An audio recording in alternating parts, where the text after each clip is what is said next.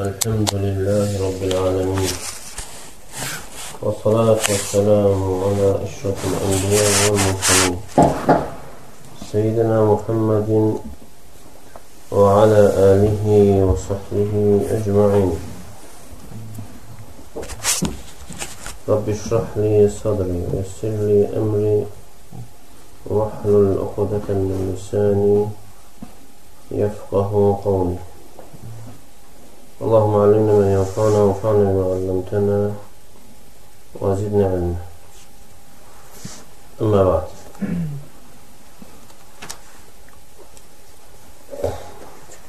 İbn-i Qayyum Rahimullah buyurur ki tüm Kur'an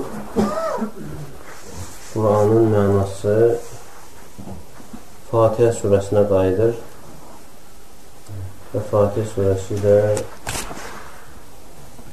İyyəkə na'budu və iyyəkə nəstəinə qayıdır. İyyəkə na'budu və iyyəkə nəstəin. Yalnız sənə ibadət edir və yalnız səndən yardım istəyir.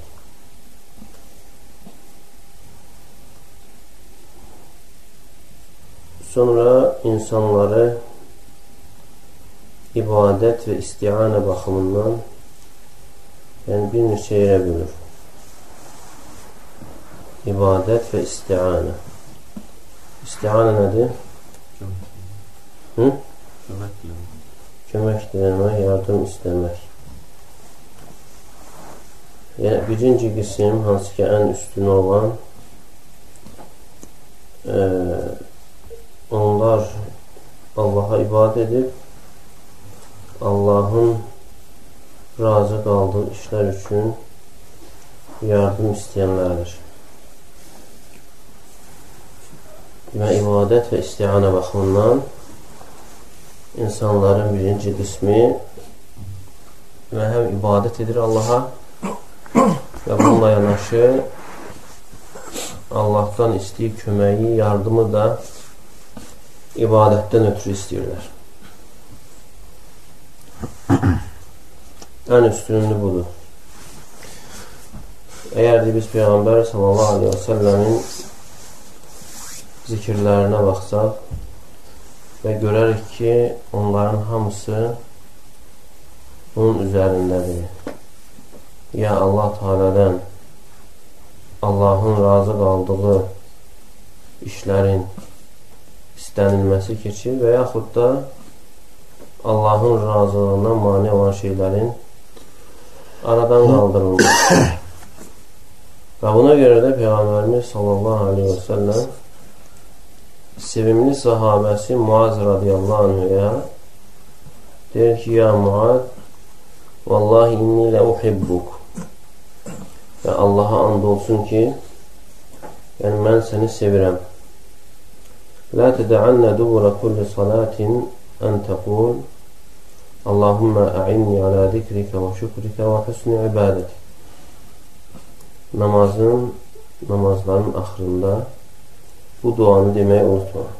Allahım mənə yardım et, sənə zikr etmək, sənə şükr etmək və sənə gözəl ibadət etmək üçün mənə yardım edir. Baxın, burada bu duada yardım nədən ötürü istənildi? Zikirdən ötürü, şükürdən ötürü və gözəl ibadətdən ötürü. İbn Teymiyyə rahimehullah da deyir ki, mən duaları fikirləşdim və duaların içərisində ən faydalı, ən mənfəətli dua Allahın razı qaldığı işlər üçün Allahdan yardım istəməkdə gördüm. Və sonra bunu da Fatihə surəsində tapdım. İyyəkə nə'budu və iyyəkə nəstə'in. Və sonra e, buyurur ki, ikinci qismdə nə ibadət var, nə istianə var. Nə ibadət, nə də istianə. Yəni, Allaha ibadət etmir, və yardım da istəmir. İbadətdən və istihan edən üz döndürən, öz döndürən kimsələrdir. Hətta onlardan biri bir şey istəyərsə, onun istədiyi iş öz nəfsi istəkləri üçün olar. Şəhvət və nəfsi istəkləri üçün olar. Allahın haqqı və Allahın razı qaldığı işlər üçün olmaz. Allah Teala'dan göylərdə və yerdə olan hər bir kəs Allahdan istəyir. Və Allahın dostları da Allahdan istəyir. Allahın düşmənləri də Allahdan istəyir. Allah Teala dostlarına da verir, düşmənlərini də verir. Yəni bununla İbn-i Qayyum Rahimullah demək istəyir ki, yəni insanın duasının qabul olunması o insanın hörmətli olmasını bildirmir. O insanın kəramətinin və Allah qatında hörmətli olmasını bildirmir. Niyə bildirmir? Ona görə ki, Allahdan dostlar, Allahın dostları da istəyir, düşmənləri də istəyir. Allah taala dostlarına da verir, düşmənlərini də verir. Və budur, Allah Taala'nın yaratdıqları içərisində düşməni iblis ən xoşuna gəlmədiyi Bu iblis kimdən istədi? Allahdan istədi. Ehtiyacını Allahdan istədi. Lakin deyir, onun istədiyi Allahın razılığına aparan, yardım edən bir iş olmadığına görə onun duasının qabul olması onun bədbəxtçiliyini daha da artırdı Onu Allahın rəhmətindən qovdu, uzaqlaşdırdı.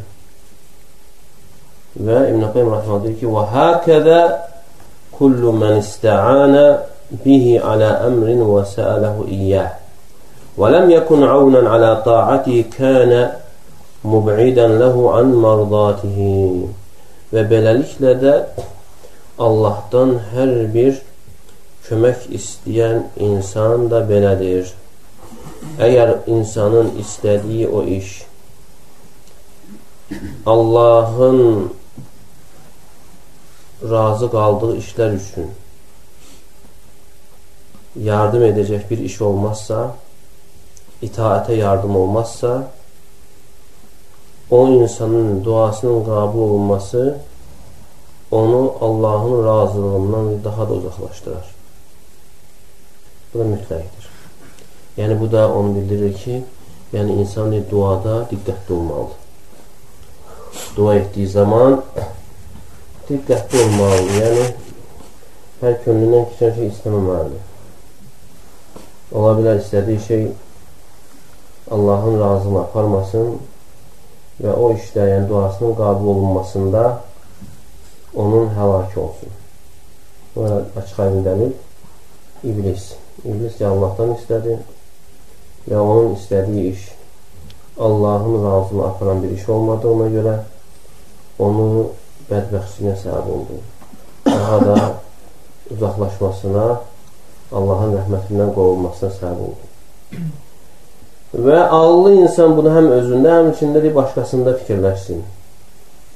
Və bilsin ki, Allah Teala'nın dua edənlərin, istəyənlərin istəyini, duasını qabul etməsi hər istəyən insanın kəramətli olmasına hörmətli olmasına dəlalət etmir. Əksinə, bəzən də insan bir ehtiyacını istəyir, Allah Teala onun ehtiyacını verir, istədiyini verir və o insanın duasının qabul olunmasında həlaki olur, bədbəxtçiliyi olur. Və duasının qabul olunması, istəyinin həyata keçməsi o insanın aşağı olduğuna görə olur.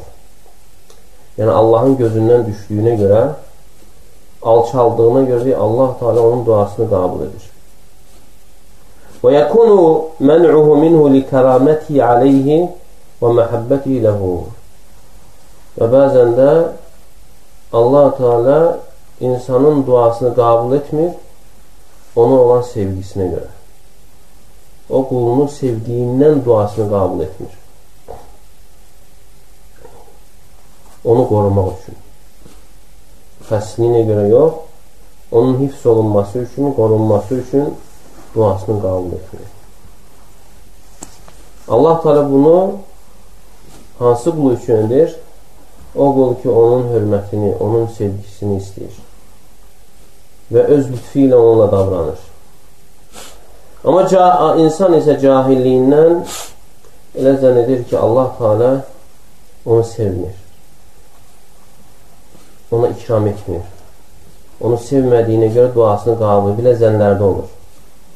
Və görür ki, Allah Teala filan kəsin ehtiyacını qabul etdi.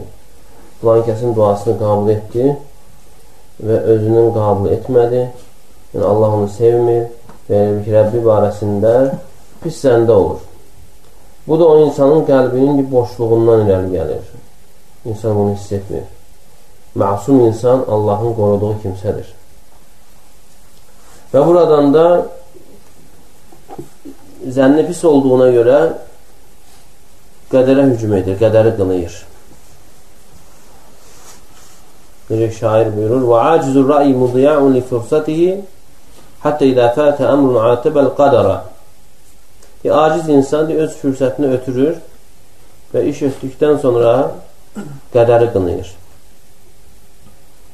Əgər deyir, onun daxili, yəni qəlbi açılarsa, deyir, orada nə qədər qədərə qarşı ihtiham, qədər qınama vardır. Belə-belə olmalı idi. Yəni, mənə verilməli idi, ona verilməli deyildi, amma mənə başqa çarəm yoxdur yəni əlində bir şey yoxdur e, və ağıllı insan özünün elə bilir ki, öz nəfsinin düşməni olur, nəfsinə rəqib kəsilir. Amma cahil insan isə qədəri qılır. Demək, ağıllı insan öz nəfsini, cahil insan qədəri qınıyır. Rəbbinin bölgüsünə etiraz edir. Fəhdər kulləl hədə ən təsələv şeyin muayyənə xeyrətuhu aqibətuhu müğəyyəbətun ankə və ona görə diqqətli ol deyir. Müəyyən bir şey istəməkdə diqqətli ol və onun sonunun necə olacağını, xeyirli olacağını bilmirsənsə, yəni onu istədiyin zaman diqqətli ol. Yox, əgər deyə onu istəməlisənsə və onu Allahın elminə bağla. Əgər xeyirlidirsə, yəni nəsib et istixara duasındakı kimi və sənin istixaran da yalnız dillə olmasın. Dillə dediyin sözləri qəlbin də anlasın, qəlbin də dərk etsin.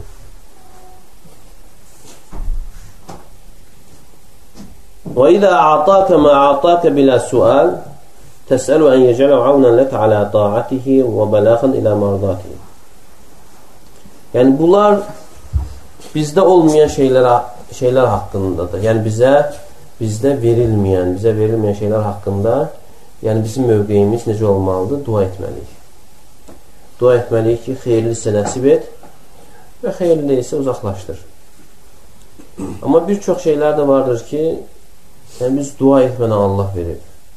Heç dua etməmişik, yəni çoxusunu heç dua etmədən Allah da verir. E, bunlara qarşı deyil, mövqeyimiz necə olmalı? Yenə dua etməliyik ki, bu, verdiyin bu nemətlər sənin razılığına aparan bir vəsilə et bu nemətləri və sənin razılığından məni uzaq salmasın. Və həmçinin insan zənn etməməlidir ki, ona bir şey verilibsə, onun hörmətli olduğu üçün verilməyib. Və yaxud da bir şey verilmirsə də onun aşağı alçaq olduğu üçün və yaxud Allahın gözündən düşdüyü üçün kəsilməyib. Lakin Allah Teala'nın verməsi də və ruzini daratması da bir imtihandır bunlarla, yəni imtihana çəkir. Həm verilməyən nimətlər haqqında insan yaxşı zəndə olmalıdır. İstəməli, gözəl şəkildə və alınmadısa və bilməli xeyir buradadır. Çünki qədərə iman olduqca mühümdür. Əgər bu iman güclü olmazsa, insan problem içərisində olur. Yəni, insan xoşbaxt ola bilmir, rahat ola bilmir.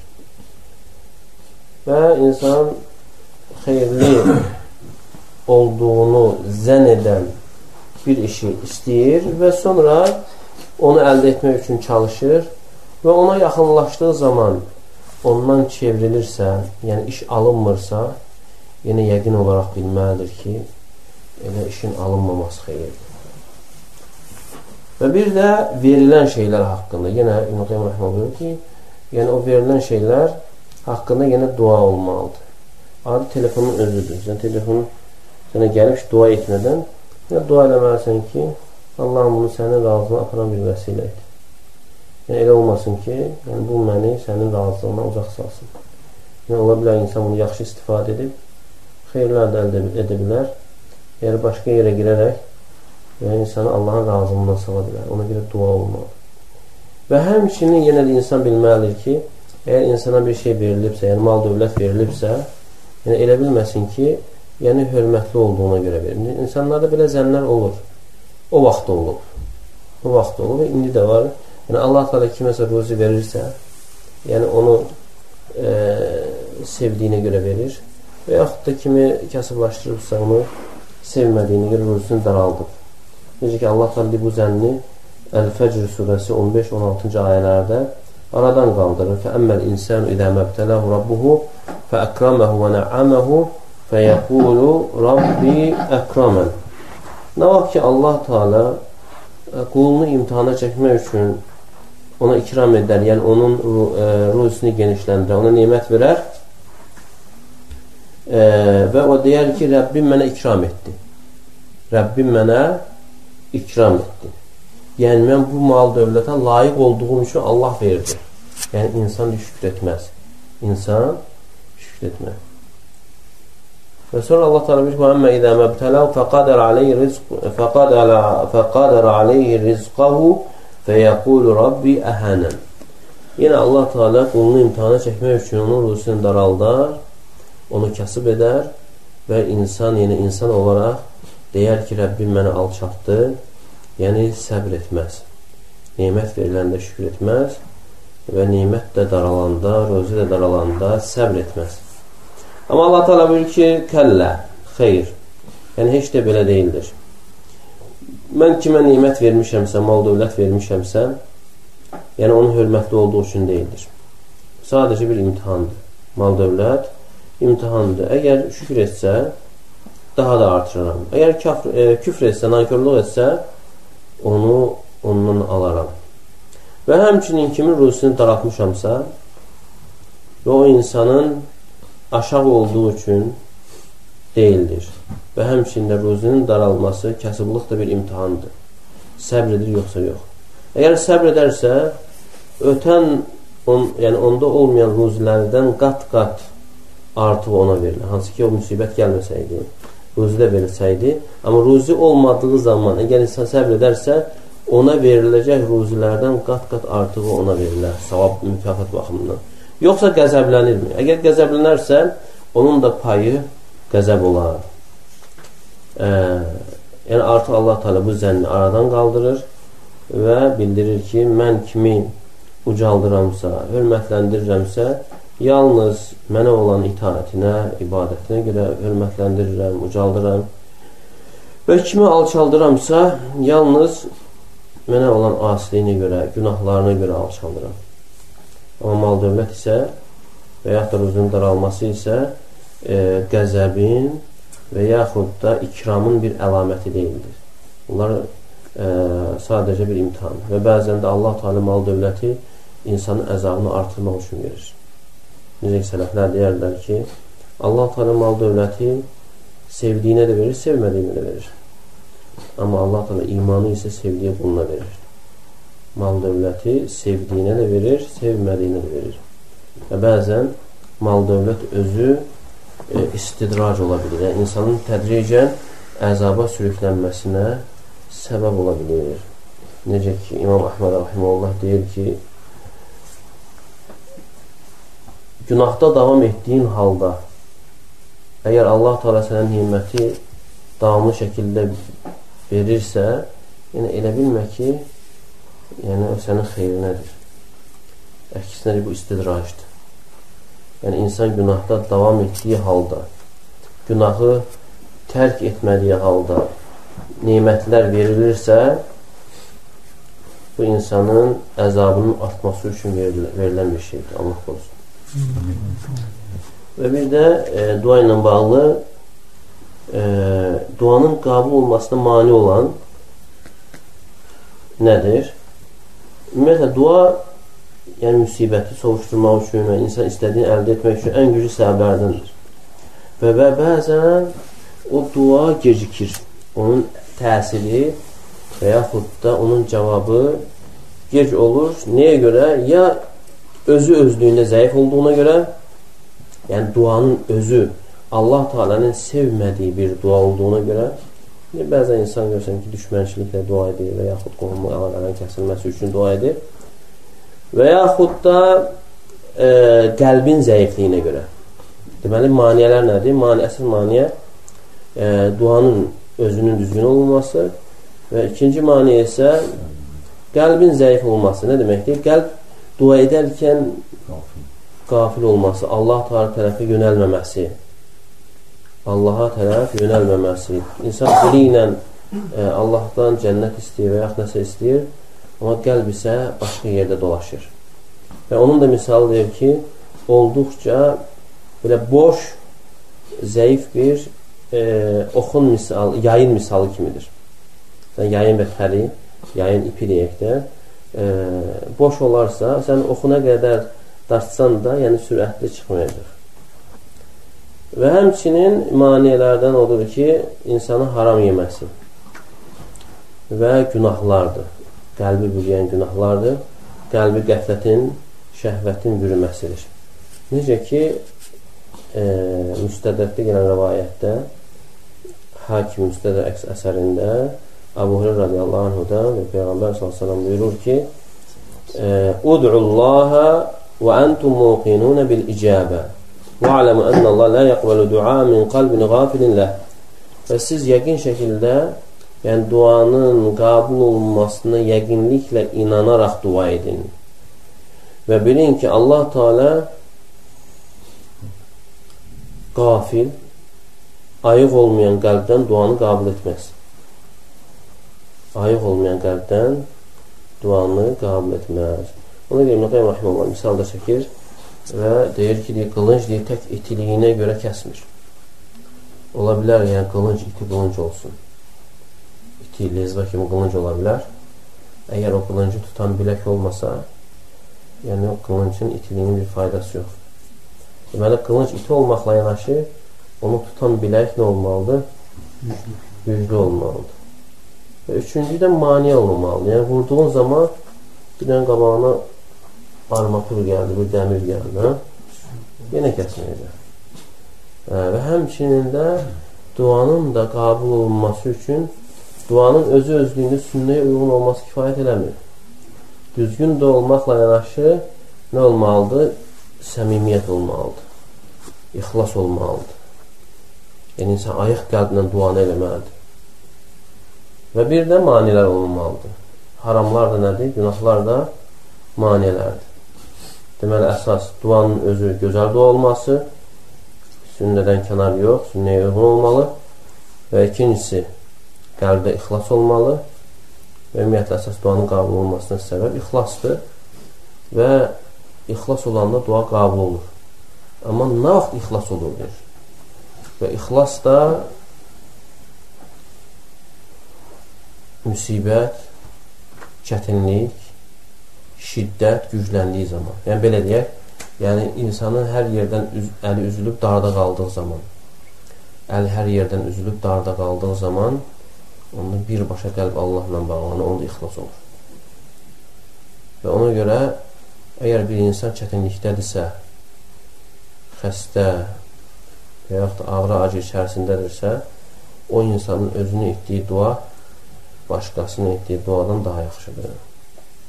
Çünki o insan ağrını hiss edir və istəyir ki, ağrı içsin və ona görə duanı ürəkdən edir. Amma sağlam insan isə qıraqdan yəni nə qədər istəsə də onun kimi edə bilməz. Yəni, ona görə yəni insanları yəni buna yönətmək ki, yəni duanı özü eləsin. Dua sözsüz ki, ən böyük ibadətlərdən sayılır. Ən əzəmətli ibadətlərdən sayılır. İnsanın qulluğunu ortaya qoyan, insanın qulluğunu izhar etdirən ən böyük ibadətlərdən biridir. Çünki insan quldursa, qul yəni Rəbbinə möhtac olan deməkdir. İbn Qayyim rahimehullah buyurur ki, insan bədənində olan bütün o zərrəciklərlə Rəbbinə möhtacdır. Onun ehtiyacından kənarda qala bilməz. Və e, möhtacdırsa, insan öz möhtaclığını izhar eləməlidir. Onu nə ilə izhar edir? İbadəti ilə və bir də duası ilə, yalvarması ilə, yardım istəməsi ilə və Allah təala istəyir ki, dua qulları yalvarsın, yaxarsın. Amma o insan ki, dua eləmir, yalvarmır, yaxarmır, yaxarmır. Yəni o insan əmin ki, Allaha ehtiyacı yoxdur. Belə çıxır. Təkəbbürlü insan sayılır. İbadət eləməyən insan və dua etməyən insan təkəbbürlü sayılır. Buna dəlil nədir? Qafir surəsi 60-cı ayə Allah təala buyurur: "Və qala rabbukum ud'uni estecib lakum. İnnellezîne yestekbirûne an ibadeti seyedhulûne cehenneme dâhilin." Rəbbiniz buyurdu ki, dua edin, duanızı qəbul edin. Mənə ibadət etməyi təkəbbürlüyünə sıxışdırmayanlar. Təkəbbürlüyünə və ibadət etməyən, dua etməyən insan təkəbbürlü sayılır. Onlar zəlli olaraq cəhənnəmə girərlər. Şeyh Nüvaz Rahimullah deyir, baxın deyir, əgər bir insan Allah ta demədi şərik qoşduğuna görə, deyir, dua etmədiyinə görə. Əgər bir insan deyir, Allahı çağırmadığına görə cəhənnəmi qazanırsa, görün onda Allahla yanaşı başqasını çağıranın halı necə olar? Allahla yanaşı başqasını çağıranın halı necə olar? Allah qorusun. Ə, və Allah Teala istəyir, yəni qulları yalvarsın, yaxarsın, qulluğunu ortaya qoysun. Nə qədər insan yəni bunu ortaya qoyarsa, izhar edərsə, bir o qədər insan xeyrinədir. Həm istəklərinin qabul olunmasına və həmçində ucalmasına səbəb olur. Çünki Allah Teala buyurur ki: "Və laqad axadnahum bil azabi fəməstəkanu li rabbihim və ma yetədarraun." Biz onları əzabla yaxaladıq. Onlar nə Rəbbinə ibadəti artırdılar, nə də yalvarıb yaxardılar. Allah, yəni ayədən qəsd olunan, yəni Allah Teala istəyir ki, ə, müsibətin göndərilməsindən məqsəd qulların yalvarıb yaxarmasıdır. Ona görə İbn Qayyim Rahimullah deyir ki, e, yəni insan heç vaxt düşünməsin ki, müsibət gəldiyi zaman qulu məhv etmək üçün gəlir. Yox. Müsibət insanı məhv etmək üçün, öldürmək üçün gəlmir.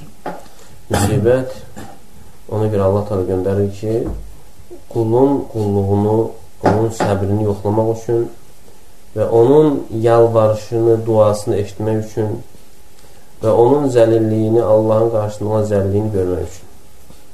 Və bununla yəni Allah Teala insanı təmizləyir və uca dərəcəyə qaldırır. Allah Teala işləmək etsin. Amin. İxlasla.com saytı tərəfindən təqdim olundu.